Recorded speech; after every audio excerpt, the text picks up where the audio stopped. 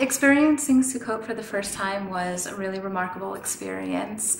Um, I learned about the history and the significance, and more than that, I was able to make a deep connection to it, which helped me understand some of my Jewish roots even better.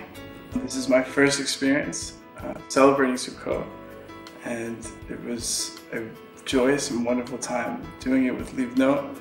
Um, it was something that I wanted to do for a very long time, and I'm really, really happy that I spent it here and got to enjoy all the festivities, um, celebrations, and the dancing and the singing was truly amazing. So it was a great, great celebration as we go.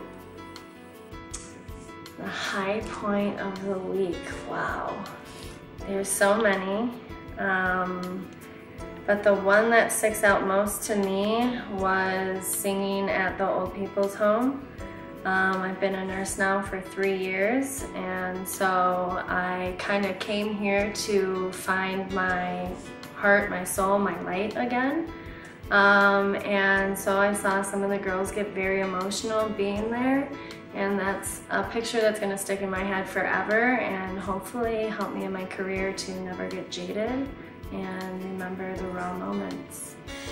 So before I came to um, Note, I was in Ashdod. I'm spending a year teaching there as part of the Massa Israel Teaching Fellows program. And before that, I was working in New York. The high point for the week for me was definitely the hikes. Um, going to Gamla with Michael was unreal. I mean, it was like seriously an experience that I'll never, can never forget, nor will I ever have again. Um, being in the cave and simulating what it felt like to be a Jew at that time, I like honestly felt that I lived history.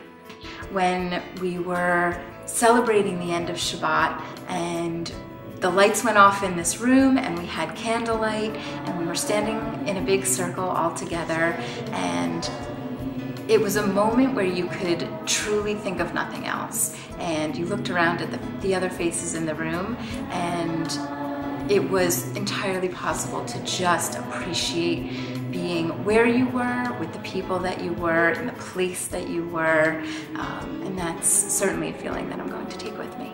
The high point of the week for me for sure was Shabbat. It was such a beautiful experience, um, spending it with people that I'd spent the whole week getting to know and becoming really good friends with, and then to have this like beautiful Shabbos experience, everything from candle lighting to Havdalah was just perfect. I would say Livnot has surpassed my expectations. Um, I thought it would just be kind of a regular program that was, you know, that I'm used to, that I've been on many of times, but it, was really much more than that. It was much deeper. There was a lot, a lot more um, spiritualness, I would say, that I've experienced than anywhere else. I think it might be because of Tzfat or because of the hikes. I don't know really what it was. Um, but you definitely, you feel the spirit from this program. It's, it's much more than just seeing sights and doing things. There's an, uh, there's an under basis of spirituality here that I think is truly amazing.